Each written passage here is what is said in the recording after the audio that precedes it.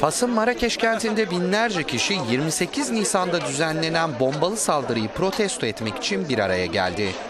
Olayın yaşandığı Cema El Fına meydanında toplanan kalabalık ölen 17 kişi için çiçekler bıraktı.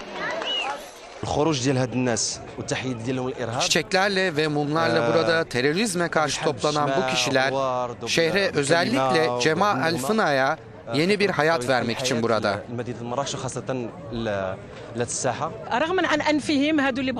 Bütün bu yaşananlara rağmen bu meydan Marrakeş'in kalbidir.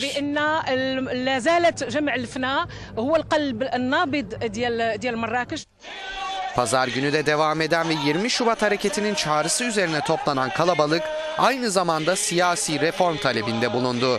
Bununla birlikte yetkililer El-Kaide'nin saldırının arkasında olduğunu iddia ederken örgütse bu açıklamayı reddetti.